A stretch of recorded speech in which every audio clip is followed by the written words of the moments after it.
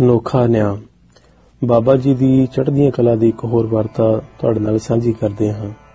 ਸੱਚਖੰਡ ਸ੍ਰੀ ਹਜੂਰ ਸਾਹਿਬ ਗੁਰਦੁਆਰੇ ਦੇ ਦਰਸ਼ਨਾਂ ਵਾਸਤੇ ਬਹੁਤ ਸਾਰੇ ਮੁਸਲਮਾਨ ਵੀ ਆਉਂਦੇ ਹਨ ਅਤੇ ਉਹਨਾਂ ਨੂੰ ਬਾਹਰਲੀ ਪ੍ਰਕਰਮਾ ਕਰਨ ਦੀ ਖੁੱਲ੍ਹ ਹੈ। ਇੱਕ ਵਾਰੀ ਇੱਕ ਮੁਸਲਮਾਨ ਨੇ ਪ੍ਰਕਰਮਾ ਕਰਦੇ ਕਰਦੇ ਬੀੜੀ ਪੀਣੀ ਸ਼ੁਰੂ ਕਰ ਦਿੱਤੀ।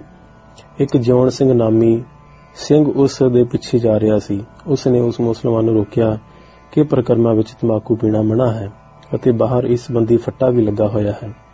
ਪਰ ਉਹ ਅੱਗੋਂ ਰੁਕਿਆ ਨਾ, ਸਗੋਂ ਆਖੜਿਆ ਜੌਨ ਸਿੰਘ ਤੋਂ ਇਹ ਬੇਅਦਬੀ ਨਾ ਸਹਾਰੀ ਗਈ, ਤੇ ਉਸ ਨੇ ਆਪਣੀ ਕਿਰਪਾਨ ਉਸ ਮੁਸਲਮਾਨ ਤੇ ਚਲਾ ਦਿੱਤੀ। ਜੌਨ ਸਿੰਘ ਨੇ ਗ੍ਰਿਫਤਾਰ ਹੋ ਕੇ ਆਪਣੀ ਜਾਨ ਦੇਣਾ ਪਸੰਦ ਨਾ ਕੀਤੀ, ਤੇ ਟੋਪੀਦਾਰ ਬੰਦੂਕ ਤੇ ਸ਼ਸਤਰ ਸੰਭਾਲ ਕੇ ਇੱਕ ਬੁੰਗੀ ਦੇ ਅੰਦਰ ਵੜ ਕੇ ਕੁੰਡਾ ਮਾਰ ਲਿਆ, ਤੇ ਉੱਪਰਲੀ ਮੰਜ਼ਲ ਤੇ ਚੜ ਬੈਠਾ। ਚਾਰ ਪੰਜ ਸਿੰਘ ਹੋਰ ਜੌਨ ਸਿੰਘ ਦੇ ਨਾਲ ਹਮਦਰਦੀ ਰੱਖਦੇ ਹੋਏ ਉਸ ਦੇ ਨਾਲ ਹੀ ਬੁੰਗੀ ਉੱਪਰ ਜਾ ਚੜੇ ਤੇ ਆਕੀ ਹੋ ਬੈਠੇ। ਪੁਲਿਸ ਆਈ, ਨਾਲ ਜ਼ਿਲ੍ਹੇ ਦੇ ਅਫਸਰ ਪਹੁੰਚੇ ਅਤੇ ਆਕੀ ਸਿੰਘਾਂ ਨੂੰ ਗ੍ਰਿਫਤਾਰ ਕਰਨਾ ਚਾਹਿਆ। ਪਰ ਉਹ ਹਰ ਤਰ੍ਹਾਂ ਨਾਲ ਜਾਣ ਉਤੇ ਖੇਡਣ ਨੂੰ ਤਿਆਰ ਬੈਠੇ ਸਨ ਤੇ ਹਰ ਤਰ੍ਹਾਂ ਦੇ ਮੁਕਾਬਲੇ ਵਾਸਤੇ ਤਿਆਰ ਸਨ। ਕਈ ਤਰੀਕੇ ਵਰਤੇ ਗਏ, ਪਰ ਉਹ ਜ਼ੋਰ ਦਾ ਜਵਾਬ ਜ਼ੋਰ ਨਾਲ ਦੇਣ ਤੋਂ ਕਿਵੇਂ ਵੀ ਨਾ ਟਲਦੇ ਸੀ। ਫੁਸਲਾ ਕੇ ਬਾਹਰ ਕੱਢਣ ਵਾਸਤੇ ਵੀ ਪ੍ਰੇਰਣਾ ਕਰਾਈਆਂ ਗਈਆਂ, ਪਰ ਉਹਨਾਂ ਨੇ ਇੱਕ ਨਾ ਮੰਨੀ। ਉਹਨਾਂ ਦਾ ਕੇਸ ਐਸਾ ਸੀ ਕਿ ਸੰਗਤਾਂ ਨੂੰ ਉਹਨਾਂ ਨਾਲ ਹਮਦਰਦੀ ਸੀ। ਇਸ ਕਰਕੇ ਵੇਲੇ ਕੁ ਵੇਲੇ ਰਸਤ ਪਾਣੀ ਦੇ ਗੱਫੇ ਉਹਨਾਂ ਨੂੰ ਸੰਗਤ ਉੱਪਰ ਤੇ ਆਉਂਦੀ ਸੀ। ਦੂਜੇ ਪਾਸੇ ਇਹ ਬੁੰਗਾ ਸੱਚਖੰਡ ਗੁਰਦੁਆਰੇ ਦੀ ਹੱਦ ਅੰਦਰ ਸੀ, ਮਾਮਲਾ ਧਾਰਮਿਕ ਸੀ। ਇਸ ਕਰਕੇ ਰਿਆਸਤੀ ਪੁਲਿਸ ਨੇ ਸਮਝ ਕੀਤੀ ਤੇ ਸੋਚ ਵਿਚਾਰ ਨਾਲ ਕੰਮ ਲਿਆ। ਪਰ ਜਦ ਜ਼ਿਲ੍ਹੇ ਦੇ ਅਫਸਰ ਕੁਝ ਨਾ ਕਰ ਸਕੇ, ਤਾਂ ਉੱਪਰ ਹైదరాబాద్ ਸਾਰਾ ਹਾਲ ਲਿਖ ਕੇ ਕੱਲਿਆ ਕੇਂਦਰੀ ਹਕੂਮਤ ਨੇ ਇਸ ਖਿਆਲ ਨਾਲ ਕਿ ਝਗੜਾ ਨਾ ਵੱਧ ਜਾਏ ਅਤੇ ਕਈ ਹੋਰ ਵਿਚਾਰਾਂ ਕਰਕੇ ਇੱਕ ਜ਼ਿੰਮੇਵਾਰ ਅੰਗਰੇਜ਼ ਅਫਸਰ ਨੂੰ ਸਿੱਖਾਂ ਨਾਲ ਸਮਝੌਤਾ ਕਰਾ ਕੇ ਮਾਮਲਾ ਤੈਅ ਕਰਨ ਲਈ ਹਜੂਰ ਸਾਹਿਬ ਰਵਾਨਾ ਕੀਤਾ। ਉਸ ਨੇ ਵੀ ਸਾਰੀ ਵਾਹ ਲਾ ਲਈ ਅਤੇ ਕੁਝ ਸਿੱਖ ਪੰਥਵੰਤਿਆਂ ਨੂੰ ਵਿਸ਼ਵਾਸ ਦਿਵਾਇਆ, ਪਰ ਜੌਨ ਸਿੰਘ ਹੋਰਾਂ ਦੇ ਕਿਸੇ ਤੇ ਇਤਬਾਰ ਕਰਨਾ ਠੀਕ ਨਾ ਸਮਝਿਆ। ਆਖਰ ਉਸ ਅਫਸਰ ਨੇ ਜੌਨ ਸਿੰਘ ਤੋਂ ਪੁੱਛਿਆ ਕਿ ਕੋਈ ਐਸਾ ਸ਼ਖਸ ਵੀ ਹੈ ਕਿ ਜਿਸ ਦਾ ਤੂੰ ਆਖਾ ਮੰਨ ਲਵੇਂ ਤੇ ਜੌਨ ਸਿੰਘ ਨੇ ਝਾਟਾ ਆਖਿਆ, ਹਾਂ, ਜੇ ਬਾਬਾ ਮਿੱਤ ਸਿੰਘ ਜੀ ਖੁਦ ਆ ਜਾਣ ਤੇ ਮੈਨੂੰ ਆ ਕੇ ਜੋ ਹੁਕਮ ਕਰਨਗੇ, ਮੈਂ ਉਹਨਾਂ ਦਾ ਹੁਕਮ ਸਿਰ ਮੱਥੇ ਮੰਨਾਂਗਾ। ਬਾਬਾ ਜੀ ਗੁਰਦੁਆਰੇ ਜਾਂ ਇਸ ਜ਼ਮੀਨ ਦੇ ਬਾਹਰ ਬਹੁਤ ਘੱਟ ਆਇਆ ਜਾਇਆ ਕਰਦੇ ਸਨ। ਪਰ ਜਦ ਆਪ ਵੱਲ ਸਾਰਾ ਹਾਲ ਕਹਿ ਕੇ ਭੇਜਿਆ ਅਤੇ ਆ ਕੇ ਦਰਸ਼ਨ ਦੇਣ ਵਾਸਤੇ ਬੇਨਤੀ ਕੀਤੀ, ਤਾਂ ਆਪ ਤਿਆਰ ਹੋ ਗਏ ਤੇ ਦੋ ਚਾਰ ਸਿੰਘ ਆਪ ਜੀ ਨਾਲ ਹੋਰ ਤੁਰ ਪਏ। ਅਰਦਾਸਾ ਸੋਧਿਆ ਗਿਆ ਤੇ ਆਪ ਜੀ ਸੱਚਖੰਡ ਗੁਰਦੁਆਰੇ ਪਹੁੰਚ ਗਏ।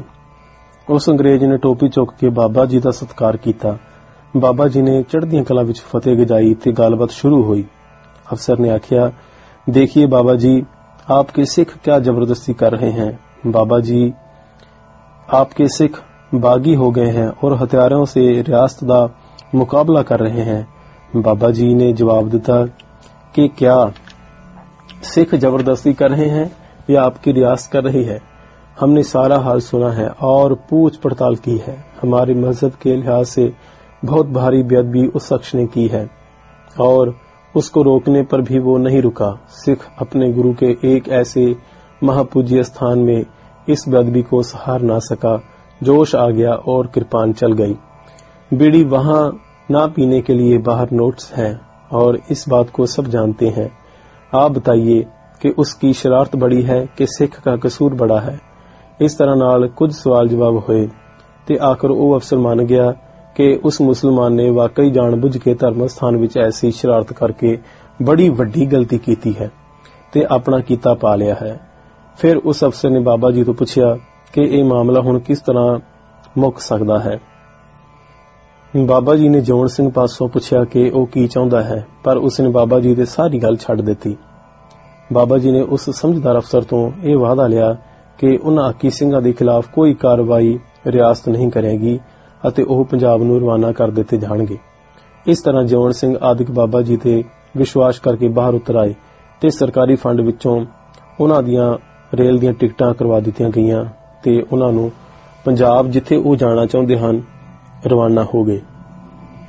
ਅੰਗਰੇਜ਼ ਬਾਬਾ ਜੀ ਦੀ ਸੰਗਤ ਤੋਂ ਬਹੁਤ ਪ੍ਰਭਾਵਿਤ ਹੋਇਆ ਅਤੇ ਉਸ ਨਾਲ ਖੜੇ ਹੋ ਕੇ ਤਸਵੀਰ ਖਿਚਾਉਣ ਲਈ ਉਸਨੇ ਮਹਾਂਪੁਰਖਾਂ ਨੂੰ ਬਾਬਾ ਜੀ ਨੂੰ ਬੇਨਤੀ ਕੀਤੀ ਤੇ ਬਾਬਾ ਜੀ ਨੇ ਉਹਦੀ ਬੇਨਤੀ ਮੰਨ ਲਈ।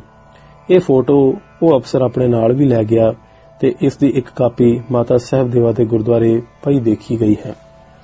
ਜਿਹੜੇ ਲੋਕ ਸ਼ੁਰੂ-ਸ਼ੁਰੂ ਵਿੱਚ ਆਪਣੇ ਖੇਤ ਵਿੱਚ ਪੈਰ ਨਹੀਂ ਸਨ ਪਾਉਣ ਦਿੰਦੇ ਤੇ ਗੁਰਦੁਆਰੇ ਦੇ ਆਲੇ ਦੁਆਲੇ ਆਪਣੇ ਖੇਤਾਂ ਨੂੰ ਵਾੜ ਲਾ ਦਿੱਤੀ ਜਾਂਦੀ ਸੀ, ਹੁਣ ਬਾਬਾ ਜੀ ਦਾ ਸਤਿਕਾਰ ਕਰਦੇ ਤੇ ਇਹ ਮੰਨਦੇ ਸਨ। ਆਸ-ਪਾਸ ਦੇ ਪਿੰਡਾਂ ਦੇ ਲੋਕ ਬਾਬਾ ਜੀ ਦਾ ਨਾਮ ਲੈਣ ਪਰ ਆਉਂਦੇ ਜਾਂਦੇ ਯਾਤਰੂਆਂ ਦੀ ਸੇਵਾ ਕਰਨ ਵਾਸਤੇ ਤਿਆਰ ਹੋ ਜਾਂਦੇ।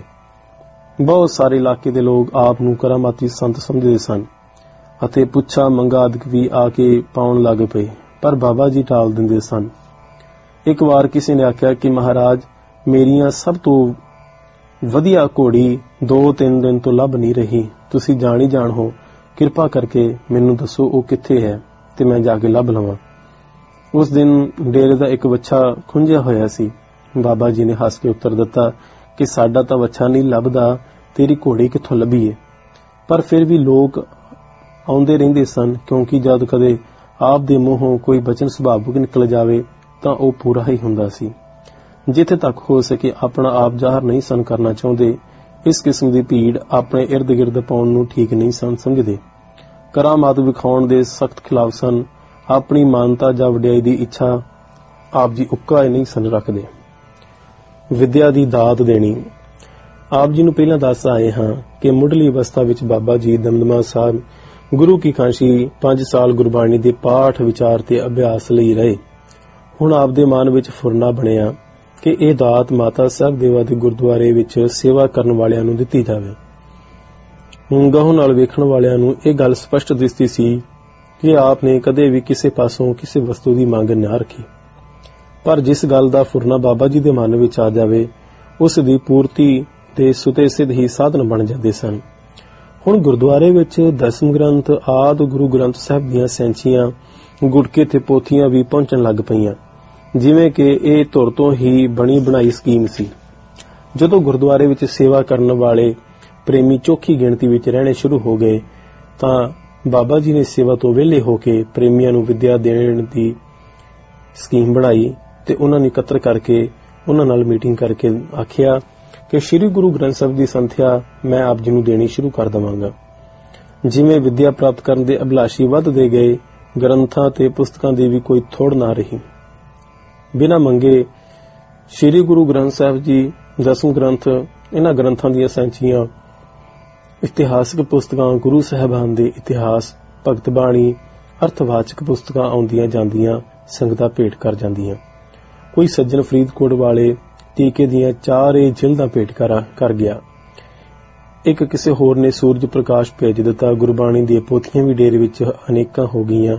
ਕੁਝ ਲਿਖਤੀ ਪੁਸਤਕਾਂ ਜੋ ਕਿ ਪਿਛਲੇ ਸਮਿਆਂ ਤੋਂ ਇਸ ਇਲਾਕੇ ਦੇ ਪਿੰਡਾਂ ਵਿੱਚ ਲੋਕਾਂ ਪਾਸ ਪਈਆਂ ਸਨ, ਉਹਨਾਂ ਨੇ ਬਾਬਾ ਜੀ ਪਾਸ ਲਿਆ ਦਿੱਤੀਆਂ। ਇਸ ਤਰ੍ਹਾਂ ਪੁਸਤਕਾਂ ਦਾ ਭੰਡਾਰ ਇਕੱਠਾ ਹੋ ਗਿਆ। ਜਿਹੜੇ ਸੇਵਾਦਾਰ ਨਿਤਨੇਮ ਵੀ ਸ਼ੁੱਧ ਨਹੀਂ ਕਰ ਸਕਦੇ ਸਨ, ਗੁਰਮੁਖੀ ਦੇ ਵੀ ਚੰਗੇ ਜਾਣੂ ਨਹੀਂ ਸਨ ਦੇਖਾ ਦੇਖੀ ਚਾਉ ਨਾਲ ਡੇਰੇ ਵਿੱਚ ਗੁਰਮੁਖੀ ਸਿੱਖ ਕੇ ਬਾਬਾ ਜੀ ਪਾਸੋਂ ਸੰਥਿਆ ਲੈਂਦੇ ਤੇ ਕੁਝ ਮਹੀਨਿਆਂ ਵਿੱਚ ਹੀ ਗੁਰੂ ਗ੍ਰੰਥ ਸਾਹਿਬ ਜੀ ਦਾ ਪਾਠ ਕਰਨ ਲੱਗ ਪੈਂਦੇ ਸਨ। ਜਿਸ ਨੇ ਜਿਸ ਗ੍ਰੰਥ ਦਾ ਪੁਸਤਕ ਦਾ ਪਾਠ ਸਿੱਖਣਾ ਹੋਵੇ, ਉਹ ਉਹੀ ਪੁਸਤਕ ਜਾਂ ਉਹੀ ਗ੍ਰੰਥ ਬਾਬਾ ਜੀ ਪਾਸ ਲੈ ਕੇ ਪਹੁੰਚ ਜਾਂਦਾ। ਤੇ ਉਸੇ ਦੀ ਸੰਥਿਆ ਉਸ ਨੂੰ ਮਿਲ ਜਾਂਦੀ। ਬਹੁਤ ਸਾਰੇ ਸੇਵਾਦਾਰ ਵਿਦਿਆ ਪ੍ਰਾਪਤ ਕਰਨ ਦੀ ਖਾਤਰ ਇੱਥੇ ਅਟਕਣ ਲੱਗ ਪਏ ਅਤੇ ਆਪਣੀ ਮਨਸ਼ਾ ਪੂਰੀ ਹੋ ਜਾਣ ਪਰ ਉਹ ਇਥੋਂ ਚਲੇ ਜਾਂਦੇ ਸਨ। ਇਸ ਤਰ੍ਹਾਂ ਅਣਗਿਣਤ ਚੁੱਪ ਚਪਾਤੇ ਆਏ ਤੇ ਇਸ ਚੁੱਪ ਦੇ ਮੰਦਰ ਵਿੱਚੋਂ ਜਿੱਥੇ ਕਿ ਬੋਲਣਾ ਨਹੀਂ ਸੀ, ਅਮਲ ਪ੍ਰਧਾਨ ਸੀ, ਨਾ ਕੇਵਲ ਸੇਵਾ ਦੀ ਕਾਲ ਨਾਲ ਪੂਸ਼ਟ ਹੋ ਕੇ ਚਲੇ ਗਏ, ਸਗੋਂ ਚੰਗੇ ਜੀਵਨ ਵਾਲੇ ਤੇ ਗੁਣਵਾਨ ਬਣ ਕੇ ਗਏ। ਭਾਵੇਂ ਬਾਬਾ ਜੀ ਲੰਗਰ ਦੀ ਅਤੇ ਸੇਵਾ ਵੀ ਕੁਝ ਨਾ ਕੁਝ ਕਰ ਲਿਆ ਕਰਦੇ ਸਨ। ਪਰ ਹੁਣ ਦਿਨ ਭਰ ਦਾ ਵਧੇਰੇ ਸਮਾਂ ਸੰਥਿਆ ਦੇਣ ਵਿੱਚ ਹੀ ਲੱਗ ਜਾਂਦਾ ਸੀ। ਆਪ ਹੁਕਮ ਵਿੱਚ ਢਲ ਚੁੱਕੇ ਸਨ। ਇਸ ਗੱਲ ਦੀ ਝਲਕ ਆਪ ਦੇ ਇਸ ਕਾਰਜ ਤੋਂ ਵੀ ਫੁੱਟ-ਫੁੱਟ ਪੈਂਦੀ ਸੀ। ਆਪ ਨੇ ਕਿਸੇ ਨੂੰ ਨਾ ਤਾਂ ਆਖਣਾ ਕਿ ਤੂੰ ਕੁਝ ਪੜ ਲੈ ਅਤੇ ਨਾ ਹੀ ਪੜਨ ਵਾਲੇ ਨੂੰ ਆਖਣਾ ਕਿ ਨਾ ਪੜ ਸੰਥਿਆ ਵਾਸਤੇ ਕਿਸੇ ਨੂੰ ਨਾ ਆਖਣਾ ਕਿ ਆ ਕੇ ਸੰਥਿਆ ਲੈ ਅਤੇ ਨਾ ਆਉਣ ਵਾਲੇ ਨੂੰ ਆਖਣਾ ਕਿ ਹੁਣ ਉੱਠ ਜਾ। ਜੋ ਪੁਸਤਕ ਕੋਈ ਲੈ ਆਂਦਾ, ਆਪ ਜੀ ਉਸੇ ਦੀ ਸੰਥਿਆ ਦੇਣੀ ਸ਼ੁਰੂ ਕਰ ਦਿੰਦੇ। ਜਿਸ ਸਮੇਂ ਕੋਈ ਆ ਗਿਆ ਉਸ ਨੂੰ ਇਹ ਨਹੀਂ ਆਖਣਾ ਕਿ ਅਜੇ ਵੇਲ ਨਹੀਂ, ਜਾਂ ਅਜੇ ਤੂੰ ਚਲਾ ਜਾ, ਜਾਂ ਅਵੇਰ ਹੋ ਗਈ, ਜਾਂ ਅਜੇ ਸਵੇਲਾ ਹੈ। ਆਪ ਨਾ ਕਦੇ ਥਕੇ, ਘਬਰਾਏ, ਜਾਂ ਕ੍ਰੋਧ ਵਿੱਚ ਕਦੇ ਵੀ ਨਾ ਆਏ। ਸੰਥਿਆ ਲੈਣ ਵਾਲਿਆਂ ਦੀ ਗਿਣਤੀ ਬਹੁਤ ਵੱਧਦੀ ਗਈ। ਇਸ ਕਰਕੇ ਸਵੇਰ ਤੋਂ ਹੀ ਜਦ ਕਿਸੇ ਨੇ ਵੇਖਣਾ ਕਿ ਬਾਬਾ ਜੀ ਸੇਵਾ ਤੋਂ ਵਿਹਲੇ ਹੋ ਕੇ ਕਿਤੇ ਬੈਠੇ ਜਾਂ ਬਰਾਜ ਰਹੇ ਹਨ, ਤਾਂ ਆਪਣੀ ਪੁਸਤਕ ਲੈ ਕੇ ਪਹੁੰਚ ਜਾਣਾ। ਮਗਰੋਂ ਜਦੋਂ ਵਿਦਿਆ ਲੈਣ ਵਾਲਿਆਂ ਨੇ ਦੇਖਿਆ ਕਿ ਅੱਡ-ਅੱਡ ਸੰਥਿਆ ਲੈਣ ਨਾਲ ਦਿਨ ਭਰ ਵਿੱਚ ਉਹ ਸਾਰੇ ਨਿਪਟ ਨਹੀਂ ਸਕਦੇ, ਤਾਂ ਉਹਨਾਂ ਨੇ ਆਪ ਹੀ ਆਪਸ ਵਿੱਚ ਵਾਰੀਆਂ ਨਿਯਤ ਕਰ ਲਈਆਂ ਤੇ ਜਿਨ੍ਹਾਂ ਦੇ ਸੰਥਿਆ ਦੇ ਪਾਠ ਇਕੱਠੇ ਜਾਂ ਇਕੱਠੇ ਹੋਣ ਦੇ ਨੇੜੇ ਹੁੰਦੇ ਸਨ, ਉਹ ਇਕੱਠੇ ਹੋ ਕੇ ਇੱਕੋ ਵਕਤ ਜੋਟੀਆਂ ਬਣਾ ਕੇ ਸੰਥਿਆ ਲਈ ਬੈਠ ਜਾਂਦੇ। ਅਤੇ ਵਾਰੋ-ਵਾਰੀ ਸੰਥਿਆ ਚੱਲਦੀ ਰਹਿੰਦੀ। ਜਿਸ ਦੀ ਸੰਥਿਆ ਪੂਰੀ ਹੋ ਜਾਵੇ, ਉਹ ਗੁਰਦੁਆਰੇ ਵਿੱਚ ਸ੍ਰੀ ਗੁਰੂ ਗ੍ਰੰਥ ਸਾਹਿਬ ਜੀ ਦਾ ਪਾਠ ਆਰੰਭ ਕਰ ਲੈਂਦਾ ਸੀ ਅਤੇ ਇਸ ਤਰ੍ਹਾਂ ਪਾਠ ਵਿੱਚ ਪੱਕੇ ਹੋ ਜਾਣਾ, ਵਿਦਿਆ ਦਾ ਪ੍ਰਸਾਰ ਵੱਧ ਜਾਣ ਨਾਲ ਡੇਰੇ ਵਿੱਚ ਕਥਾ ਵਾਰਤਾ ਵੀ ਸ਼ੁਰੂ ਹੋ ਗਈ। ਆਪ ਕਿਸੇ ਦਾ ਦਿਲ ਨਹੀਂ ਸੀ ਢਾਉਂਦੇ, ਜੇ ਕਦੇ ਕੋਈ ਨਵਾਂ ਆਇਆ ਅਣਜਾਣ ਵਿਅਰਥੀ, ਆਪਣੇ ਕਿਸੇ ਗਲਤ ਭੁਲੇਖੇ ਕਰਕੇ ਸੰਥਿਆ ਲੈਣੀ ਛੱਡ ਦੇਵੇ, ਤਾਂ ਫਿਰਦੇ ਫਿਰਾਂਦੇ ਜਦ ਆਪ ਉਸ ਦੀ ਕੁਟੀਆ ਪਾਸ ਨਿਕਲਦੇ ਤਾਂ ਮਿੱਠੇ ਨਿਰਮਾਣ ਤੇ ਭੋਲੇ ਭਾਵ ਵਾਲੇ ਸ਼ਬਦਾਂ ਨਾਲ ਆਖ ਦੇਣਾ ਕਿ ਪ੍ਰੇਮੀਆਂ, ਕੀ ਗੱਲ ਹੈ? ਸੰਥਿਆ ਲੈਣ ਨਹੀਂ ਆਇਆ, ਹੁਣ ਲੈ ਲਓ, ਆਜੋ। ਤੇ ਇਸ ਤਰ੍ਹਾਂ ਆਪ ਜੀ ਛੇਨ ਪਰ ਵਿੱਚ ਉਸ ਦੇ ਹਿਰਦੇ ਨੂੰ ਪਿਆਰ ਦੇ ਵਿੱਚ ਜਕੜ ਲੈਂਦੇ। ਤੇ ਉਹ ਵਿਦਿਆਰਥੀ ਤੁਹਾਡਾ ਹੀ ਹੋ ਕੇ ਰਹਿ ਜਾਂਦਾ। ਸਭ ਕੁਝ ਸੰਗਤ ਦਾ ਸਮਝਣਾ। ਅਸੀਂ ਆਪ ਜੀ ਨੂੰ ਪਿੱਛੇ ਦੱਸ ਆਏ ਹਾਂ ਕਿ ਸ਼੍ਰੀ ਬਾਬਾ ਜੀ ਦੀ ਕਿਸੇ ਸ਼ੈ ਨਾਲ ਪਕੜ ਨਹੀਂ ਸੀ। ਸਭ ਕੁਝ ਸੰਗਤ ਦਾ ਸਮਝਦੇ ਸਨ। ਕੋਈ ਧਰ ਜਾਏ, ਕੋਈ ਲੈ ਜਾਏ, ਆਪ ਗੋਨੋ ਹੀ ਸਨ ਕਰਦੇ। ਇਤੇ ਨਾ ਹੀ ਕਿਸੇ ਵਸਤੂ ਦੀ ਖਬਰਦਾਰੀ ਕਰਦੇ ਸਨ। ਕਿਸੇ ਸ਼ੈ ਨੂੰ ਜੰਦਾ ਨਹੀਂ ਸੀ ਲਾਇਆ। ਮਾਇਆ ਆਉਂਦੀ ਸੀ ਤਾਂ ਉਸ ਵੀ ਖੁੱਲੀ ਪਈ ਰਹਿਣਾ। ਕਿਸੇ ਤਰ੍ਹਾਂ ਦਾ ਕੋਈ ਡਰ ਭੈ ਨਹੀਂ ਸੀ, ਕੋਈ ਚੱਕ ਕੇ ਲੈ ਜਾਵੇ। ਜੇ ਕੋਈ ਆਉਂਦਾ ਸੀ ਤਾਂ ਉਹ ਲੋੜੋਂ ਤੋਂ ਚੱਕ ਲੈਂਦਾ ਸੀ। ਪਰ ਆਪ ਜੀ ਦਾ ਇਹ ਸੁਭਾਅ ਸੀ, ਜਦੋਂ ਕੋਈ ਆਉਂਦਾ ਸੀ, ਤੁਹਾਨੂੰ ਪਤਾ ਲੱਗ ਜਾਂਦਾ ਸੀ ਕਿ ਇਹਨੇ ਆ ਫਲਾਣੀ ਚੀਜ਼ ਲੈਣੀ ਹੈ। ਤੇ ਆਪ ਜੀ ਪਹਿਲਾਂ ਹੀ ਪਾਸਾ ਫੇਰ ਲੈਂਦੇ ਕਿ ਜੇ ਅਸੀਂ ਉਹਦੇ ਵੱਲ ਵੇਖਾਂਗੇ ਤਾਂ ਉਸਨੇ ਸਾਡੇ ਤੋਂ ਸੰਗਣਾ ਹੈ, ਸ਼ਰਮਾਉਣਾ ਹੈ। ਭਾਵੇਂ ਆਪ ਗੁਰਦੁਆਰੇ ਵਿੱਚ ਸਭ ਨਾਲ ਸਮਵਰਤੋਂ ਵਿੱਚ ਰਹਿੰਦੇ, ਆਪਣੇ ਆਪ ਨੂੰ ਕਿਸੇ ਤੋਂ ਵਿਸ਼ੇਸ਼ ਨਹੀਂ ਸੀ ਸਮਝਦੇ। ਤੇ ਸੇਵਾ ਵਿੱਚ ਹੱਥ ਵਟਾਉਂਦੇ ਨਿਰਵਾਣ ਰਹਿੰਦੇ, ਉਪਰੋਂ ਨਹੀਂ ਸੀ ਲੱਗਦਾ ਕਿ ਆਪ ਜੀ ਇਸ ਸਥਾਨ ਦੇ ਮੁਖੀ ਹੋ ਜਾਂ ਕੀ ਹੋ। ਆਪ ਜੀ ਦਾ ਪਹਿਰਾਵਾ ਵੀ ਸਿੰਪਲ ਸੀ ਤੇ ਆਪ ਜੀ ਉਸ ਪਰਮਾਤਮਾ ਦੀ ਭਜਨ ਬੰਦਗੀ ਵਿੱਚ ਹੀ ਲੱਗੇ ਰਹਿੰਦੇ ਸਨ। ਬਾਬਾ ਜੀ ਦੇ ਸਰਾਣੇ ਜਾਂ ਆਸਨ ਹੇਠੋਂ ਜੇ ਕਦੇ ਕੋਈ ਕੁਝ ਮਾਇਆ ਚੁੱਕ ਲੈਂਦਾ ਤਾਂ ਆਪ ਬੇਪਰਵਾਹ ਰਹਿੰਦੇ। ਜੇ ਕਿਸੇ ਤੇ ਚੁੱਕਦੇ ਸਮੇਂ ਵੀ ਆਪ ਜਾਂਦੇ, ਤਾਂ ਬੇਪਰਵਾਹੀ ਵਿੱਚ ਇਉਂ ਲੰਘ ਜਾਂਦੇ ਜਿਵੇਂ ਆਪ ਜੀ ਨੇ ਕੁਝ ਨਹੀਂ ਵੇਖਿਆ। ਇੱਕ ਵਾਰੀ ਇੱਕ ਕੋਈ ਨਵਾਂ ਸੇਵਾਦਾਰ ਪੰਜਾਬ ਨੂੰ ਵਾਪਸ ਜਾਣ ਲੱਗਾ। ਚੱਲਣ ਵੇਲੇ ਲਾਲਚ ਵਿੱਚ ਆ ਕੇ ਉਸ ਨੇ ਗੋਲਕ ਵਿੱਚੋਂ ਮਾਇਆ ਕੱਢ ਲਈ। ਇਤਫਾਕ ਨਾਲ ਬਾਬਾ ਜੀ ਉਧਰ ਜਾ ਰਹੇ ਸਨ। ਆਪ ਨੇ ਉਸ ਨੂੰ ਮਾਇਆ ਕੱਢਦਿਆਂ ਦੇਖ ਕੇ ਪਿਛਾਂ ਹੀ ਪੈਰ ਪਾ ਲਿਆ। ਤਾਂ ਜੋ ਉਹ ਸ਼ਰਮਿੰਦਾ ਨਾ ਹੋਵੇ। ਉਹ ਸੇਵਾਦਾਰ ਵਿਦਾ ਹੋ ਕੇ ਅਜੇ ਥੋੜੀ ਹੀ ਦੂਰ ਗਿਆ ਸੀ ਕਿ ਉਸ ਨੂੰ ਮਰੋੜ ਲੱਗ ਗਏ। ਅਤੇ ਇਤਨੀ ਜ਼ੋਰ ਨਾਲ ਕਿ ਅਗਾਹ ਕਦਮ ਚੁੱਕਣਾ ਔਖਾ ਹੋ ਗਿਆ। ਅਤੇ ਉਸ ਨੂੰ ਆਪਣੀ ਕਰਤੂਤ ਚੇਤੇ ਆ ਗਈ ਅਤੇ ਸਮਝਿਆ ਕਿ ਉਸੇ ਦਾ ਇਹ ਫਲ ਹੈ। ਉਹ ਝਟ ਗੁਰਦੁਆਰੇ ਵਾਪਸ ਆ ਗਿਆ ਤੇ ਬਾਬਾ ਜੀ ਪਾਸ ਆਪਣੀ ਭੁੱਲ ਦੱਸ ਕੇ ਚੋਰੀ ਕੀਤੀ ਹੋਈ ਮਾਇਆ ਅੱਗੇ ਰੱਖ ਦਿੱਤੀ ਅਤੇ ਬਖਸ਼ ਦੇਣ ਵਾਸਤੇ ਬੇਨਤੀ ਕੀਤੀ। ਬਾਬਾ ਜੀ ਨੇ ਮੁਸਕਰਾਉਂਦੇ ਹੋਏ ਕਿਹਾ ਕਿ ਤੈਨੂੰ ਲੋੜ ਸੀ ਅਤੇ ਆਪਣੀ ਮਾਤਾ ਦੇ ਖਜ਼ਾਨੇ ਵਿੱਚੋਂ ਲੈ ਗਿਆ, ਖਿਮਾ ਕਾਦੀ ਕੋਈ ਗੱਲ ਨਹੀਂ। ਉਸ ਸੇਵਾਦਾਰ ਦੇ ਰਸਤੇ ਵਿੱਚੋਂ ਵਾਪਸ ਆਉਣ ਲੱਗੇ ਹੀ ਰੋਗ ਤੋਂ ਵੱਲ ਹੋ ਜਾਣਾ ਉਸ ਦੇ ਆਪਣੇ ਮਨ ਲਈ ਕਾਫੀ ਸਬੂਤ ਸੀ ਕਿ ਉਸ ਤੋਂ ਗਲਤੀ ਹੋਈ ਹੈ। ਉਹ ਆਪ ਜੀ ਨੂੰ ਕਹਿੰਦਾ ਕਿ ਮਹਾਰਾਜ ਮੇਰੇ ਤੋਂ ਬਹੁਤ ਵੱਡੀ ਭੁੱਲ ਹੋਈ ਹੈ। ਮੈਨੂੰ ਬਖਸ਼ ਦਿਓ। ਮੈਥੋਂ ਗਲਤੀ ਹੋਈ ਹੈ ਅਤੇ ਮੇਰੀ ਤਸੱਲੀ ਤਦ ਹੋਵੇਗੀ ਜੇ ਆਪ ਮੈਨੂੰ ਕੋਈ ਤਨਖਾਹ ਲਾਓ। ਜਦ ਉਹ ਨਾ ਟਲਿਆ ਤਾਂ ਬਾਬਾ ਜੀ ਨੇ ਬਚਨ ਕੀਤਾ ਕਿ 3 ਮਹੀਨੇ ਗੁਰਦੁਆਰੇ ਦੀ ਸੇਵਾ ਕਰ। ਉਹ ਸੱਜਣ ਬਹੁਤ ਦਿਨ ਸੇਵਾ ਕਰਦਾ ਰਿਹਾ ਤੇ ਉੱਚਾ ਜੀਵਨ ਪ੍ਰਾਪਤ ਕਰਕੇ ਗਿਆ। ਇੱਕ ਵਾਰੀ ਕੁਝ ਕੁ ਮਾਇਆ ਇੱਕ ਯਾਤਰੂ ਦੇ ਸਾਹਮਣੇ ਆਈ, ਜੋ ਕਿ ਬਾਬਾ ਜੀ ਦੇ ਸਰਾਣੇ ਰੱਖ ਦਿੱਤੀ ਗਈ। ਉਸ ਯਾਤਰੂ ਦਾ ਮਨ ਫਿਰ ਗਿਆ ਮਾਇਆ ਵੇਖ ਕੇ, ਲਾਲਚੀ ਹੋ ਗਿਆ। ਅਤੇ ਰਾਤ ਨੂੰ ਉਸ ਨੇ ਬਾਬਾ ਜੀ ਦੇ ਸਰਾਣੇ ਹੇਠ ਆ ਕੇ ਹੱਥ ਫੇਰਿਆ। ਮਹਾਂਪੁਰਖ ਬਾਬਾ ਜੀ ਆਰਾਮ 'ਚ ਸਨ ਅਤੇ ਪਰ ਸੁੱਤੇ ਨਹੀਂ ਸਨ, ਜਾਗੋ ਮਿੱਟੀ ਸਨ। ਇਹ ਦੇਖ ਕੇ ਅਤੇ ਇਹ ਵਿਚਾਰ ਕੇ ਇਹ ਜੋ ਕੁਝ ਸਰਾਣੇ ਹੇਠੋਂ ਲੈਣ ਦੀ ਇੱਛਾ ਰੱਖ ਕੇ ਆਇਆ ਹੈ, ਆਸਾਨੀ ਨਾਲ ਲੈ ਲਵੇ। ਆਪ ਜੀ ਨੇ ਆਪਣਾ ਸੀਸ ਸਰਾਣੇ ਤੋਂ ਢਿੱਲਾ ਕਰ ਲਿਆ ਤੇ ਉਹ ਯਾਤਰੂ ਖੁੱਲਾ ਹੱਥ ਫੇਰ ਕੇ ਜੋ ਕੁਝ ਹੱਥ ਲੱਗਾ ਉਹ ਲੈ ਗਿਆ। ਕਿਸੇ ਸੇਵਾਦਾਰ ਨੇ ਉਸ ਨੂੰ ਆਪ ਜੀ ਦੀ ਕੁਟੀਆ ਦੇ ਅੰਦਰੋਂ ਬਾਹਰ ਜਾਂਦੇ ਤੱਕਿਆ ਅਤੇ ਸਵੇਰ ਨੂੰ ਬਾਬਾ ਜੀ ਪਾਸ ਗੱਲ ਕੀਤੀ ਕਿ ਉਹ ਰਾਤ ਆਪ ਪਾਸੋਂ ਕੀ ਲੈਣ ਆਇਆ ਸੀ। ਆਪ ਨੇ ਚੋਰ ਦੀ ਚੋਰੀ ਪ੍ਰਗਟ ਕਰਨੀ ਪਸੰਦ ਨਾ ਕੀਤੀ। ਸਮਦਰਸੀ ਬਾਬਾ ਜੀ ਲਈ ਤਾਂ ਕੋਈ ਚੋਰ ਹੀ ਨਹੀਂ ਸੀ। ਆਪ ਨੇ ਉੱਤਰ ਦਿੱਤਾ ਕਿ ਇੱਥੇ ਸਾਡਾ ਕੀ ਹੈ? ਜੋ ਕਿਸੇ ਦੇ ਲੈ ਜਾਣਾ ਹੈ। ਸੇਵਾਦਾਰ ਨੇ ਦੁਬਾਰਾ ਆਖਿਆ ਕਿ ਨਹੀਂ ਪਾਤਸ਼ਾਹ ਮੈਂ ਉਸ ਨੂੰ ਕੁਝ ਖੜਦੇ ਵੇਖਿਆ ਹੈ। ਆਪ ਨਹੀਂ ਸੰਚਾਉਂਦੇ ਕਿ ਕਿਸੇ ਉਸ ਯਾਤਰੂ ਦਾ ਪਿੱਛਾ ਕਰੇ। ਆਪ ਨੇ ਬੜੀ ਬੇਪਰਵਾਹੀ ਨਾਲ ਆਖਿਆ ਕਿ ਸਾਡੇ ਸੀਸ ਹੇਠੋਂ ਪੱਥਰ ਨੂੰ ਵੱਜੀ ਹੋਈ ਮਾਇਆ ਸਮਝ ਕੇ ਲੈ ਗਿਆ ਹੈ। ਤੈਸਾ ਸਵਰਨ, ਤੈਸੀ ਉਸ ਮਾਟੀ। ਸੁਣਿਆ ਜਾਂਦਾ ਹੈ ਕਿ ਉਸ ਯਾਤਰੂ ਨੇ ਨਾ ਕੇਵਲ ਚੋਰੀ ਕੀਤੀ ਹੋਈ ਮਾਇਆ ਹੀ ਵਾਪਸ ਭੇਜੀ, ਸਗੋਂ ਹੋਰ ਸੇਵਾ ਵੀ ਕੀਤੀ ਅਤੇ ਭੁੱਲ ਮੰਨ ਕੇ ਅੱਗੇ ਲਈ ਚੋਰੀ ਦੀ ਆਦਤ ਛੱਡ ਦੇਣ ਦਾ ਵਾਅਦਾ ਕੀਤਾ। ਇਸ ਤਰ੍ਹਾਂ ਇੱਕ ਹੋਰ ਯਾਤਰੂ ਨੇ ਦਿਨ ਵੇਲੇ ਬਾਬਾ ਜੀ ਦੀ ਕੁਟਿਆ ਖਾਲੀ ਵੇਖ ਕੇ ਉਹਨਾਂ ਦੇ ਆਸਣ ਹੇਠੋਂ ਮਾਇਆ ਚੁੱਕ ਲੈ ਜਾਣ ਦੀ ਆਸ ਵਿੱਚ ਹੱਥ ਫੇਰਿਆ। ਪਰ ਉਸ ਨੂੰ ਲੱਭਾ ਕੁਝ ਨਾ। ਬਾਬਾ ਜੀ ਉਸ ਵੇਲੇ ਖੇਤ ਵਿੱਚ ਹਲ ਚਲਾ ਰਹੇ ਸਨ। ਆਪ ਦੇ ਸਾਹਮਣੇ ਉਹ ਦ੍ਰਿਸ਼ ਆ ਗਿਆ ਅਤੇ ਇੱਕ ਸੇਵਾਦਾਰ ਨੂੰ ਸਹਿਜ ਸੁਭਾ ਆਖਿਆ ਕਿ ਮਾਇਆ ਦੀ ਆਸ ਰੱਖ ਕੇ ਆਇਆ ਸੀ, ਪਰ ਵਿਚਾਰੇ ਨੂੰ ਮਿਲਿਆ ਕੁਝ ਨਹੀਂ। ਮੋਦੀ ਸਿੰਘ ਦੱਸਦਾ ਸੀ ਕਿ ਬਾਬਾ ਜੀ ਨੇ ਕਈ ਵਾਰ ਉਸ ਨੂੰ ਆਖਿਆ ਕਿ ਚੀਨੀ ਆਦਿਕ ਅਤੇ ਹੋਰ ਲੋੜ ਵਾਲੀਆਂ ਚੀਜ਼ਾਂ ਦੇ ਢੋਲ ਉਹਨਾਂ ਦੀ ਕੁਟਿਆ ਤੋਂ ਕਿਤੇ ਬਾਹਰ ਰੱਖ ਦੇਵੇ, ਤਾਂ ਜੋ ਜਿਸ ਦਾ ਜੀ ਕਰੇ ਉਹ ਉਹ ਲੈ ਕੇ ਜਾ ਸਕਦਾ ਹੈ। ਮਾਤਾ ਸੇਵ ਦੇਵਾ ਦੇ ਗੁਰਦੁਆਰੇ ਡਾਕਖਾਨਾ ਨਾ ਹੋਣ ਕਰਕੇ ਮਨੀ ਆਰਡਰ ਨਾ ਦੇੜ ਦੇ ਡਾਕਖਾਨੇ ਤੋਂ ਵਸੂਲ ਕਰਨ ਵਾਸਤੇ ਕਿਸੇ ਨਾ ਕਿਸੇ ਦੀ ਡਿਊਟੀ ਲੱਗੀ ਰਹਿੰਦੀ ਸੀ। ਉਹਨਾਂ ਵਿੱਚੋਂ ਇੱਕ ਸੱਜਣ ਲਗਭਗ 2000 ਰੁਪਏ ਵਸੂਲ ਕਰਕੇ ਖਾ ਗਿਆ। ਪਤਾ ਲੱਗ ਗਿਆ, ਪਰ ਬਾਬਾ ਜੀ ਨੇ ਇਹ ਗੱਲ ਗੋਲੀ ਹੀ ਨਾ। ਹੋਰ ਸੇਵਾਦਾਰਾਂ ਨੇ ਜ਼ੋਰ ਦਿੱਤਾ ਕਿ ਉਸ ਦੇ ਵਿਰੁੱਧ ਕੁਝ ਕਾਰਵਾਈ ਕਰਨੀ ਚਾਹੀਦੀ ਹੈ ਜੋ ਅੱਗੇ ਨੂੰ ਕੋਈ ਗੁਰਦੁਆਰੇ ਦਾ ਪੈਸਾ ਨਾ ਖਾਵੇ, ਪਰ ਆਪ ਜੀ ਨੇ ਨਾ ਕਰ ਦਿੱਤੀ। ਜੇ ਕਦੇ ਕੋਈ ਆਪੇ ਮਾਇਆ ਚੁੱਕ ਕੇ ਲੈ ਜਾਏ ਅਤੇ ਮਗਰੋਂ ਦੱਸ ਦੇਵੇ ਕਿ ਇਤਨੇ ਪੈਸੇ ਲੈ ਗਿਆ ਸਾਂ, ਤਾਂ ਬਾਬਾ ਜੀ ਨੇ ਉਹਨਾਂ ਨੂੰ ਵੀ ਅੱਛਾ ਕਹਿ ਛੱਡਣਾ। ਨਾ ਕਦੇ ਰੋਕਿਆ ਕਿ ਅੱਗੇ ਨੂੰ ਇੰਜ ਨਾ ਕਰੀ ਅਤੇ ਨਾ ਹੀ ਡਾਂਟਿਆ ਸੀ। ਪੰਜਾਬ ਜਾਂਦੇ ਆਉਂਦੇ ਸੇਵਾਦਾਰ ਤੇ ਅਭਿਆਗਤ ਅਕਸਰ ਆਪ ਪਾਸੋਂ ਖਰਚਾ ਮੰਗ ਲਿਆ ਕਰਦੇ ਸਨ। ਕਦੇ ਕਿਸੇ ਨੂੰ ਕੋਈ ਖਾਸ ਲੋੜ ਪੈ ਜਾਣੀ ਤਾਂ ਵੀ ਮੰਗ ਲੈਣਾ। ਜੇ ਮਾਇਆ ਪਾਸ ਹੋਵੇ ਤਾਂ ਬਾਬਾ ਜੀ ਨੇ ਕਦੇ ਕਿਸੇ ਨੂੰ ਨਾ ਨਾ ਕੀਤੀ। ਜੋ ਪਾਸ ਹੋਵੇ ਸੋ ਦੇ ਦੇਣਾ।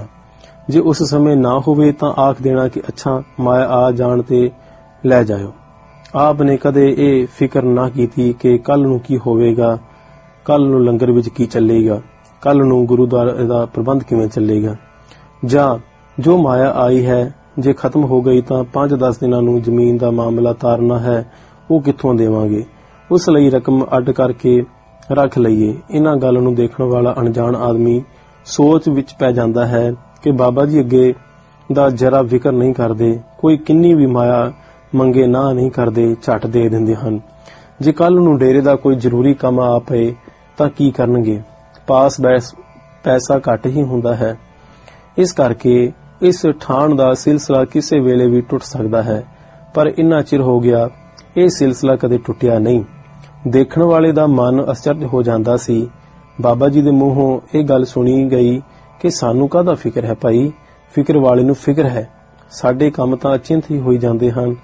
ਜਿਸ ਜਿਸ ਨੇ ਉਦੋਂ ਦੀ ਹਾਲਤ ਦੇਖੀ ਹੈ, ਉਹ ਇਹ ਕਹੇ ਬਿਨਾ ਨਹੀਂ ਰਹਿ ਸਕਦਾ ਕਿ ਸਤਿਗੁਰੂ ਜੀ ਦੀ ਮਿਹਰ ਨਾਲ ਡੇਰੇ ਦੀਆਂ ਲੋੜਾਂ ਕਦੇ ਥੋੜ ਵਿੱਚ ਨਹੀਂ ਰਹੀਆਂ।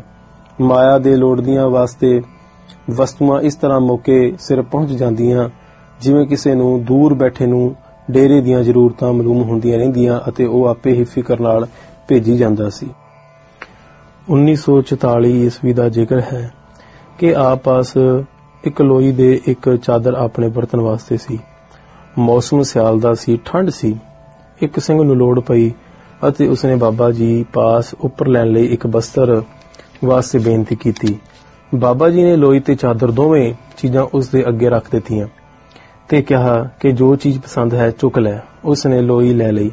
ਆਪ ਚਾਦਰ ਵਿੱਚ ਹੀ ਆਨੰਦ ਰਹੇ। ਕੁਝ ਦਿਨਾਂ ਪਿੱਛੋਂ ਇੱਕ ਹੋਰ ਬਿਹੰਗਮ ਬਸਤਰ ਦੀ ਲੋੜ ਵਾਲਾ ਆ ਗਿਆ। ਆਪ ਨੇ ਚਾਦਰ ਉਸ ਦੇ ਹਵਾਲੇ ਕਰ ਦਿੱਤੀ। ਨਾ ਤਾਂ ਕਿਸੇ ਨੇ ਹੀ ਗੌਹ ਕੀਤਾ ਤੇ ਨਾ ਆਪ ਨੇ ਹੀ ਪ੍ਰਗਟ ਕੀਤਾ ਕਿ ਹੁਣ ਸਾਡੇ ਪਾਸ ਉੱਪਰ ਲੈਣ ਲਈ ਕੋਈ ਬਸਤਰ ਨਹੀਂ। ਆਪ ਨੇ 12 ਵਜੇ ਤੱਕ ਥੋੜੀ ਨੀਂਦ ਪੂਰੀ ਕਰ ਲੈਣੀ। ਫਿਰ ਜਦ ਡੇਰੇ ਦੇ ਸਾਰੇ ਆਦਮੀ ਸੁੱਤੇ ਹੋਏ ਹੁੰਦੇ ਸਨ, ਆਪ ਨੇ ਬਾਣੀ ਦਾ ਪਾਠ ਕਰਦੇ ਤੇ ਬੈਲ, ਘੋੜੇ ਆਦਿ ਡੰਗਰਾਂ ਨੂੰ ਦੇਖਦੇ ਪਾਲਦੇ ਤੇ ਪੱਠਾ ਚਾਰਾ ਕਰਦੇ ਰਾਤ ਬਿਤਾ ਦੇਣੀ। ਇਉਂ ਜੇ ਥੋੜੇ ਦਿਨ ਬੀਤੇ ਸਨ ਕਿ ਅਚਾਨਕ ਇੱਕ ਬਿਲਟੀ ਆ ਗਈ, ਜੋ 101 ਕੰਬਲਾਂ ਤੇ ਪਾਰਸਲ ਦੀ ਸੀ। ਕੰਬਲ ਆਉਂਦਿਆਂ ਹੀ ਇੱਕ ਇੱਕ ਕਰਕੇ ਸੰਗਤ ਵਿੱਚ ਵਰਤਾ ਦਿੱਤੇ ਤੇ ਲਹਿਰ ਬਹਿਰ ਹੋ ਗਈ। ਇੱਕ ਵਾਰ ਇੱਕ ਲੋੜਵੰਦ ਸਿੰਘ ਨੇ ਬਾਬਾ ਜੀ ਪਾਸੋਂ ਕੁਝ ਰੁਪਏ ਮੰਗੇ। ਬਾਬਾ ਜੀ ਪਾਸ ਉਸ ਵੇਲੇ ਕੁੱਲ 22 ਰੁਪਏ ਸਨ, ਜੋ ਸਾਰੇ ਉਸ ਨੂੰ ਫੜਾ ਦਿੱਤੇ। ਡੇਰੇ ਦੇ ਕੁਝ ਸੇਵਾਦਾਰਾਂ ਨੇ ਬਾਬਾ ਜੀ ਦੀ ਇਹ ਨੀਤ ਨੂੰ, ਨਿਤ ਦੀ ਖੇਡ ਨੂੰ ਦੇਖ ਕੇ ਹਿਰਸ ਜੈਸੀ ਪ੍ਰਗਟ ਕੀਤੀ। ਅਤੇ ਉਸ ਸਮੇਂ ਕੁਝ ਨਾ ਬੋਲੇ। ਥੋੜੇ ਦਿਨ ਬਾਅਦ 1100 ਰੁਪਏ ਕਿਸੇ ਸੱਜਣ ਵੱਲੋਂ ਆ ਗਏ। ਆਪ ਨੇ ਸਾਰੇ ਸੇਵਾਦਾਰਾਂ ਨੂੰ ਸੱਦਿਆ ਅਤੇ 22-22 ਰੁਪਏ ਹਰ ਇੱਕ ਦੇ ਅੱਗੇ ਰੱਖ ਕੇ ਉਸ ਵੇਲੇ ਡੇਰੇ ਵਿੱਚ ਕੁੱਲ 50 ਸਿੰਘ ਸਨ। ਆਖਿਆ ਕਿ ਜਿਸ ਜਿਸ ਨੂੰ ਲੋੜਵੰਦ ਸਿੱਖ ਨੂੰ 22 ਰੁਪਏ ਦੇਣ ਦਾ ਰੋਸ ਹੈ, ਉਹ ਇਹ ਰਕਮਾਂ ਚੁੱਕ ਲੈਣ। ਸਾਰੇ ਬਾਬਾ ਜੀ ਦੇ ਭਾਵ ਨੂੰ ਸਮਝ ਗਏ। ਰੁਪਏ ਕਿਸੇ ਨੇ ਨਾ ਚੁੱਕੇ ਅਤੇ ਬਾਬਾ ਜੀ ਤੋਂ ਖਿਮਾ ਮੰਗੀ ਕਿ ਸਾਨੂੰ ਮਾਫ ਕਰ ਦਿਓ। ਸਭ ਦੀ ਐਸੀ ਤਸੱਲੀ ਹੋਈ ਕਿ ਫੇਰ ਕਦੇ ਕਿਸੇ ਨੇ ਅੱਖ ਚੁੱਕ ਕੇ ਪੀਣਾ ਦੇਖਿਆ ਕਿ ਕੌਣ ਕੀ ਲਿਜਾਂਦਾ ਹੈ। ਇੱਕ ਵਾਰੀ ਨਦੇੜ ਦੇ ਬਾਣੀਏ ਦਾ, ਜਿਸ ਤੋਂ ਸਿੱਧਾ ਆਦ ਆਉਂਦਾ ਸੀ, ਲਿਖਾ ਜੁਖਾ ਹੋ ਗਿਆ। ਮਾਇਆ ਕੁਝ ਮਹੀਨਿਆਂ ਤੋਂ ਘਟਾ ਰਹੀ ਸੀ, ਇਸ ਲਈ ਬੋਝ ਹਲਕਾ ਨਾ ਹੋਇਆ। ਸੇਵਾਦਾਰਾਂ ਨੇ ਵਿਚਾਰ ਕਰਕੇ ਬਾਬਾ ਜੀ ਪਾਸ ਬੇਨਤੀ ਕੀਤੀ ਕਿ ਲੰਗਰ ਦਾ ਖਰਚ ਘਟਾ ਦਿੱਤਾ ਜਾਏ। ਬਾਬਾ ਜੀ ਨੇ ਕਿਹਾ ਕਿ ਸੰਗਤ ਦਾ ਲੰਗਰ ਅੱਗੇ ਹੀ ਸਹਜੇ ਹੈ। ਇਸ ਵਿੱਚ ਹੋਰ ਕਮੀ ਕਰਨ ਦਾ ਕੀ ਖਿਆਲ ਹੈ? ਹੋਰ ਕਮੀ ਕਿਉਂ ਕਰੀਏ? ਤੁਸੀਂ ਕੋਈ ਚਿੰਤਾ ਨਾ ਕਰੋ। ਸਾਡਾ ਤਨ ਵੀ ਤਾਂ ਸਾਧ ਸੰਗਤ ਦਾ ਹੀ ਹੈ। ਆਨੰਦ ਨਾਲ ਛਕੋ, ਛਕਾਵੋ। ਜੇ ਐਸੀ ਲੋੜ ਆ ਪਈ ਤਾਂ ਅਸੀਂ ਬਾਣੀਏ ਦੀ ਦੁਕਾਨ ਤੇ ਜਾ ਕੇ ਤਕੜੀ ਤੋਲਾਂਗੇ ਤੇ ਉਸ ਦਾ ਸੌਦਾ ਸੂਤ ਫੜਾਇਆ ਕਰਾਂਗੇ। ਭਾਵ ਲੰਗਰ ਦੇ ਕਰਜ਼ੇ ਬਦਲੇ ਅਸੀਂ ਗਿਰਵੀ ਪੈ ਜਾਵਾਂਗੇ। ਇਹ ਸੀ ਆਪ ਦੀ ਸੰਗਤਾਂ ਦੀ ਸੇਵਾ ਦੀ ਕਾਲ, ਪਰ ਆਪਣਾ ਤਨ ਮਨ ਵਾਰਨ ਦਾ ਅਨੁਪਮ ਨਮੂਨਾ ਆਪ ਨੇ ਇਹ ਕੋਈ ਦਿਖਾਵੇ ਵਾਸਤੇ ਨਹੀਂ ਸੀ ਕੀਤਾ। ਸਗੋਂ ਸਭ ਕੁਝ ਸੰਗਤਾਂ ਤੋਂ ਬਾਹਰ ਦੇਣ ਲਈ ਤਿਆਰ ਸਨ। ਆਪ ਦੇ ਸੱਚੇ ਮਨੋਂ ਆਖੇ ਇਹਨਾਂ ਬਚਨਾਂ ਨੇ ਸਭ ਨੂੰ ਗੱਦ ਕਰ ਦਿੱਤਾ ਤੇ ਉਤਸ਼ਾਹ ਨਾਲ ਭਰ ਦਿੱਤਾ। ਫਿਰ ਸੇਵਾਦਾਰਾਂ ਨੇ ਬੇਨਤੀ ਕੀਤੀ ਕਿ ਕੁਝ ਡੰਗਰ ਵੇਚ ਦਿਓ। ਬੈਲ ਅਤੇ ਵੱਛੇ ਤਾਂ ਖੇਤੀਬਾੜੀ ਦੇ ਕੰਮ ਆਉਣਗੇ ਕੁਝ ਗਊਆਂ ਵੇਚ ਦੇਵੋ ਬਾਬਾ ਜੀ ਨੇ ਉੱਤਰ ਦਿੱਤਾ ਕਿ ਗਊਆਂ ਨੇ ਤਾਂ ਖਾ ਕੇ ਆਪਣਾ ਕਰਜ਼ਾ ਲਾ ਦਿੱਤਾ ਹੈ, ਬੈਲ ਵੇਚਣੇ ਹਨ ਤਾਂ ਵੇਚ ਦੇਵੋ। ਉਪਰੋਕਤ ਲਿਖੀਆਂ ਕੁਝ ਘਟਨਾਵਾਂ ਦ੍ਰਿਸ਼ਟਾਂਤ ਮਾਤਰ ਹੀ ਹਨ। ਅਜਿਹੀਆਂ ਗੱਲਾਂ ਦਾ ਆਪ ਦਾ ਸਾਰਾ ਜੀਵਨ ਹੀ ਇੱਕ ਲੰਮੀ ਲੜੀ ਸੀ। ਬਾਬਾ ਜੀ ਦਾ ਹਰ ਕੰਮ ਤੇ ਹਰ ਬਚਨ ਉਹਨਾਂ ਦੇ ਮਨ ਵਿੱਚ ਆਪੇ ਦਾ ਅਭਾਵ, ਹੁਕਮ ਤੇ ਸੇਵਾ ਦਾ ਸੂਚਕ ਸੀ। ਬਾਬਾ ਜੀ ਨੇ ਆਪਣਾ ਕਦੇ ਕੁਝ ਸਮਝਿਆ ਹੀ ਨਹੀਂ। ਆਪ ਕਿਹਾ ਕਰਦੇ ਸਨ ਕਿ ਇਹ ਸਭਨਾ ਦੀ ਆਪਣੀ ਮਾਤਾ ਦਾ ਘਰ ਹੈ। ਸਭ ਦੀ ਸਾਂਝੀ ਮਾਤਾ ਦਾ ਹੀ ਇਹ ਸਭ ਐਸ਼ਵਰਜ ਹੈ। ਜੇ ਕੋਈ 5 ਮਿੰਟ ਵਾਸਤੇ ਆਏ ਯਾਤਰੂ ਨੂੰ ਵੀ ਕੋਈ ਸੇਵਾਦਾਰ ਬਾਹਰ ਦਾ ਸੱਜਣ ਆਖ ਦੇਵੇ, ਤਾਂ ਬਾਬਾ ਜੀ ਸੁਣ ਲੈਣ ਤਾਂ ਪ੍ਰੇਮ ਨਾਲ ਆਖਦਿਆ ਕਰਦੇ ਕਿ ਸਭ ਆਪਣੇ ਹੀ ਹਨ। ਉੱਪਰੋਂ ਇਹ ਗੱਲ ਕਹਿਣੀ ਕਿ ਓਪਰਾ ਇੱਥੇ ਕੋਈ ਨਹੀਂ, ਇੱਥੇ ਬਾਹਰਲਾ ਕੋਈ ਨਹੀਂ, ਇਹ ਸਭ ਕੁਝ ਸੰਗਤ ਦਾ ਹੀ ਹੈ। ਆਪਣੇ ਜਨਮ ਵਾਲੇ ਪਿੰਡ ਮੰਡਿਆਲੀ ਵਿੱਚ ਜੋ ਜ਼ਮੀਨ ਆਪ ਦੀ ਸੀ, ਉਹ ਵੀ ਆਪ ਨੇ ਮੰਡਿਆਣੀ ਦੇ ਗੁਰਦੁਆਰੇ ਦੇ ਨਾਂ ਕਰਵਾ ਛੱਡੀ ਤੇ ਆਪ ਜੀ ਆਨੰਦਿਤ ਹੋ ਗਏ। ਹੁਕਮ ਵਿੱਚ ਵਰਤਣਾ, ਜੋ ਹੋਆ ਹੋਵਤ ਸੋ ਜਾਣੈ, ਪ੍ਰਭ ਆਪਣੇ ਕਾ ਹੁਕਮ ਪਛਾਨੈ, ਦੇ ਮਹਾਵਾਕ ਅਨੁਸਾਰ। ਬਾਬਾ ਜੀ ਹੁਕਮ ਪਛਾਣ ਚੁਕੇ ਸਨ ਪ੍ਰਮਾਤਮਾ ਦਾ ਤੇ ਆਪ ਦਾ ਜੀਵਨ ਹੁਕਮ ਵਿੱਚ ਢਲ ਚੁੱਕਾ ਸੀ। ਜੋ ਕੁਝ ਵਰਤ ਰਿਹਾ ਸੀ ਉਸ ਨੂੰ ਉਹ ਆਪਣੇ ਪ੍ਰਭੂ ਦਾ ਹੁਕਮ ਪਛਾਣਦੇ ਸਨ ਕਿ ਇਹ ਸਭ ਕੁਝ ਉਸ ਅਕਾਲ ਪੁਰਖ ਵਾਹਿਗੁਰੂ ਪਰਮੇਸ਼ਰ ਦਾ ਹੈ। ਇਹ ਗੱਲ ਪਹਿਲੇ ਦੱਸੇ ਹਾਲਾਤ ਤੋਂ ਸਪਸ਼ਟ ਹੋ ਜਾਂਦੀ ਹੈ। ਆਪ ਉਹਨਾਂ ਨੇ ਕਦੇ ਕਿਸੇ ਨੂੰ ਹੁਕਮ ਨਹੀਂ ਸੀ ਦਿੱਤਾ। ਜੇ ਖੇਤ ਵਿੱਚ ਹਲ ਚਲਾਉਣ ਦਾ ਸਮਾਂ ਆਇਆ, ਤਾਂ ਨਾਮ ਸਿਮਰਦੇ ਹਲ ਚੁੱਕ ਕੇ ਬੈਲ ਤੇ ਲੈ ਕੇ ਖੇਤ ਨੂੰ ਤੁਰ ਪੈਣਾ। ਜੇ ਕੋਈ ਨਾਲ ਆਰ ਲਿਆ ਤਾਂ ਆ ਜਾਏ। ਜੇ ਚਲਾ ਗਿਆ, ਤਾਂ ਚਲਾ ਜਾਵੇ। ਆਪ ਨੂੰ ਹਰਖ ਜਾਂ ਸੋ ਕਰਦੇ ਜਾਂ ਆਪ ਦੇ ਮਸਤਕ ਪਰ ਵਟ ਆਉਂਦੇ ਕਦੇ ਨਹੀਂ ਸੀ ਦੇਖਿਆ। ਜੇ ਲੰਗਰ ਲਈ ਲੱਕੜ ਦੀ ਲੋੜ ਹੈ, ਤਾਂ ਕੁਹਾੜਾ ਮੋਢੇ ਉੱਪਰ ਰੱਖ ਕੇ ਗੁਰਦੁਆਰੇ ਜੰਗਲ ਵੱਲ ਤੁਰ ਪੈਣਾ। ਜੇ ਜਲ ਦਾ ਮਟਕਾ ਖਾਲੀ ਹੈ, ਤਾਂ ਭਰਨ ਲੱਗਾ ਆਪ ਜੀ ਨੇ ਸਮਾਂ ਨਹੀਂ ਲਾਉਣਾ, ਆਪਣੀ ਇਹ ਸੇਵਾ ਆਪ ਹੀ ਕਰਨੀ।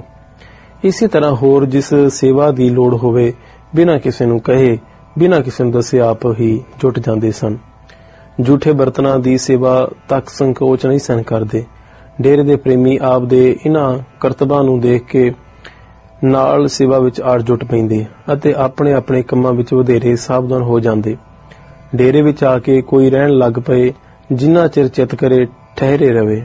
ਜਿਸ ਦਾ ਚਿਤ ਕਰੇ ਚਲਾ ਜਾਏ, ਭਾਵੇਂ ਡੇਰੇ ਦਾ ਕਿੰਨਾ ਹੀ ਜ਼ਰੂਰੀ ਕੰਮ ਕਰਨ ਵਾਲਾ ਸੇਵਾਦਾਰ ਹੋਵੇ, ਜੇ ਜਾਣ ਵਾਸਤੇ ਖੁਸ਼ੀ ਮੰਗੇ ਤਾਂ ਆਪ ਨਹੀਂ ਸਨ ਰੋਕਦੇ। ਆਪ ਕਿਸੇ ਪਾਸੋਂ ਮਾਇਆ ਜਾਂ ਵਸਤੂ ਨਹੀਂ ਸੀ ਮੰਗਦੇ। ਜੇ ਕੋਈ ਧਰ ਜਾਏ, ਤਾਂ ਨਾ ਨਾ ਕਰਦੇ। ਉਹ ਸੰਗਤ ਦੀ ਸੇਵਾ ਵਿੱਚ ਲੱਗ ਜਾਣੀ। ਹਾਨ ਲਾਭ ਆਪ ਲਈ ਇੱਕ ਸਮਾਨ ਸਨ। ਹਮੇਸ਼ਾ ਖਿਹੜੇ ਮੱਥੇ ਭਾਣੇ ਵਿੱਚ ਵਿਚਰਦੇ ਸਨ। ਆਪਾ ਤੇ ਆਪਣਤ ਵੱਲੋਂ ਆਪ ਦਾ ਪੂਰਾ ਭਾਵ ਸੀ। ਸਮ ਦ੍ਰਿਸ਼ਟੀ ਬਾਬਾ ਜੀ ਦਾ ਵਰਤਾਓ ਹਰ ਇੱਕ ਨਾਲ ਇੱਕੋ ਜਿਹਾ ਹੁੰਦਾ ਸੀ। ਉਹਨਾਂ ਲਈ ਆਪਣੇ ਬਿਗਾਨੇ ਸਭ ਇੱਕ ਤੁਲ ਸਨ। ਨਾ ਕਿਸੇ ਨੂੰ ਚੰਗਾ, ਨਾ ਮੰਦਾ ਸਮਝਦੇ ਸਨ ਤੇ ਨਾ ਚੰਗਾ ਮੰਦਾ ਆਖਦੇ ਸਨ। ਜੇ ਕਿਸੇ ਨੇ ਸ਼ਰਧਾ ਨਾਲ ਪੁੱਛਣਾ ਕਿ ਆਪ ਨੇ ਗੁਰੂ ਮਹਾਰਾਜ ਦੇ ਦਰਸ਼ਨ ਕੀਤੇ ਹੋਏ ਹਨ ਤੇ ਉਹਨਾਂ ਦੇ ਚਿੰਨ ਕੈਸੇ ਹਨ, ਤਾਂ ਆਪ ਨੇ ਸੰਗਤ ਵੱਲ ਇਸ਼ਾਰਾ ਕਰ ਦੇਣਾ। ਇੱਕ ਵਾਰ ਆਪ ਦਾ ਚਚੇਰਾ ਭਰਾ ਆਪ ਨੂੰ ਮਿਲਣ ਵਾਸਤੇ ਆਇਆ। ਆਪ ਨੇ ਆਮ ਸੰਗਤ ਵਾਂਗ ਉਸ ਦਾ ਆਦਰ ਸਤਕਾਰ ਕੀਤਾ ਤੇ ਆਮ ਸੰਗਤ ਵਿੱਚ ਹੀ ਕੁਝ ਦਿਨ ਨਿਵਾਸ ਕਰਕੇ ਉਹ ਗੁਰਦੁਆਰਾ ਸੱਚਖੰਡ ਸ੍ਰੀ ਹਜੂਰ ਸਾਹਿਬ ਚਲਾ ਗਿਆ। ਨਾ ਤਾਂ ਆਪ ਨੇ ਕਿਸ ਹੀ ਕਿਸੇ ਨੂੰ ਦੱਸਿਆ ਕਿ ਇਹ ਸਾਡੇ ਭਰਾਤਾ ਹਨ ਤੇ ਨਾ ਹੀ ਆਪ ਦੇ ਕਿਸੇ ਵਰਤਾਓ ਤੋਂ ਆਪ ਦੀ ਉਸ ਨਾਲ ਖਾਸ ਆਪਣਤ ਪ੍ਰਗਟ ਹੋਈ। ਸੱਚਖੰਡ ਗੁਰਦੁਆਰੇ ਵਿੱਚ ਉਸ ਨੇ ਕਿਸੇ ਪਾਸ ਗੱਲ ਕੀਤੀ ਕਿ ਉਹ ਬਾਬਾ ਜੀ ਦਾ ਭਰਾਤਾ ਹੈ। ਉਥੋਂ ਮਾਤਾ ਸਾਹਿਬ ਦੇਵਾ ਦੇ ਗੁਰਦੁਆਰੇ ਜਦ ਇਹ ਪਤਾ ਲੱਗਾ ਤਾਂ ਕੁਝ ਪ੍ਰੇਮੀ ਉਸ ਨੂੰ ਮੁੜ ਮਾਤਾ ਸਾਹਿਬ ਦੇਵਾ ਦੇ ਗੁਰਦੁਆਰੇ ਸਤਕਾਰ ਸਹਿਤ ਵਾਪਸ ਲੈ ਆਏ ਤੇ ਵਿਸ਼ੇਸ਼ ਸੇਵਾ ਕੀਤੀ। ਜਦ ਡੇਰੇ ਵਾਸੀਆਂ ਨੇ ਬਾਬਾ ਜੀ ਪਾਸੋਂ ਪੁੱਛਿਆ ਕਿ ਆਪ ਨੇ ਇਹ ਗੱਲ ਪ੍ਰਗਟ ਕਿਉਂ ਨਹੀਂ ਕੀਤੀ ਕਿ ਇਹ ਆਪ ਦੇ ਭਰਾ ਆਏ ਹੋਏ ਹਨ, ਤਾਂ ਬਾਬਾ ਜੀ ਨੇ ਮੁਸਕਰਾ ਕੇ ਕਿਹਾ ਕਿ ਭਾਈ, ਤੁਸੀਂ ਸਾਡੇ ਕੌਣ ਹੋ? ਭਾਵ ਤੁਸੀਂ ਸਾਰੇ ਸਾਨੂੰ ਪਿਆਰ ਕਰਦੇ ਹੋ ਤੇ ਤੁਸੀਂ ਸਾਰੇ ਮੇਰੇ ਭਰਾ ਹੋ। ਮੈਂ ਤੁਹਾਨੂੰ ਸਾਰਿਆਂ ਨੂੰ ਪਿਆਰ ਕਰਦਾ, ਤੁਸੀਂ ਸੰਗਤ ਗੁਰੂ ਰੂਪ ਹੋ, ਗੁਰੂ ਤੋਂ ਉੱਪਰ ਹੋਰ ਕੁਝ ਨਹੀਂ ਹੈ।